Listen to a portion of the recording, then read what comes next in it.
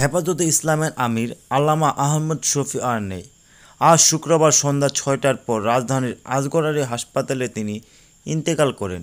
ইন্নাল্লাহে ওয়া ইন্নাল্লাহে রাজুন দারুল মইনুল ইসলাম হাটহাজারী মাদ্রাসার সহকারী পরিচালক শেখ আহমদ প্রথম আলোকে তার মৃত্যুর খবর নিশ্চিত করেছেন।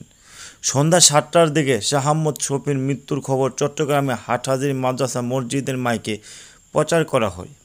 হেফাজতে ইসলামের কেন্দ্রীয় যুগ্ম মহাসচিব মুফতি ফয়জুল্লাহ জানান আহম্মদ শফির বয়স হয়েছিল একশো তিন বছর। মাদ্রাসার দায়িত্বশীল সূত্র জানায়, আজ বিকেলে আল্লামা আহ শাহ আহম্মদ শফিকে হেলিকপ্টার যুগে ঢাকায় আনা হয়। এরপর তাকে গেন্ডারিয়া আজগর আলী হাসপাতালে ভর্তি করা হয়। এর আগে বৃহস্পতিবার গভীর রাতে তাকে চট্টগ্রাম মেডিকেল কলেজ হাসপাতালে নেওয়া হয়। তিনি বার্ধক্যজনিত বিভিন্ন অসুস্থতা ছাড়াও ডায়াবেটিস ও হাইপার টেনশনে ভুগছিলেন। শাহ আহমদ ছবির জন্ম চট্টগ্রামের রাঙ্গুনিয়া উপজেলায় পাখিয়াটিয়া গ্রামে। তার বাবার নাম বরকত আলী, মা মোসাম্মদ মেহেরুন্নেসা বেগম। শাহ আহমদ শফি দুই ছেলে ও তিন মেয়ে। তার বড় ছেলে মাওলানা মোহাম্মদ ইউসুফ পাখিয়ার টিলা কমি মাদ্রাসার পরিচালক। ছোট ছেলে আনাস মাদানী হেফাজত ইসলামের প্রচার সম্পাদক।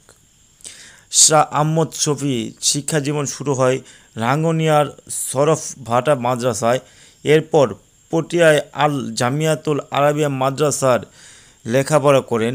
উনিশশো চল্লিশ সালে তিনি হাটহাজারি দালুল উলুম মইনুল ইসলাম মাদ্রাসায় ভর্তি হন। উনিশশো পঞ্চাশ সালে তিনি ভারতের দালুল উলুম দেওবন্দ মাদ্রাসায় যান। সেখানে চার বছর লেখাপড়া করেন। উনিশশো ছিয়াশি সালে হাটহাজারি মাদ্রাসা মহাপরিচালক পদে যোগ দেন আহমদ শফি। এরপর থেকে টানা চৌত্রিশ বছর ধরে তিনি ওই পদে ছিলেন।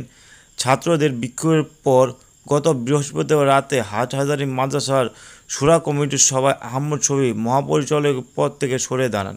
তার ছেলে আনাস মাদানিকে মাদ্রাসার শিক্ষা পরিচালকের পদে থেকে স্থায়ীভাবে অব্যাহতি দেওয়া হয়।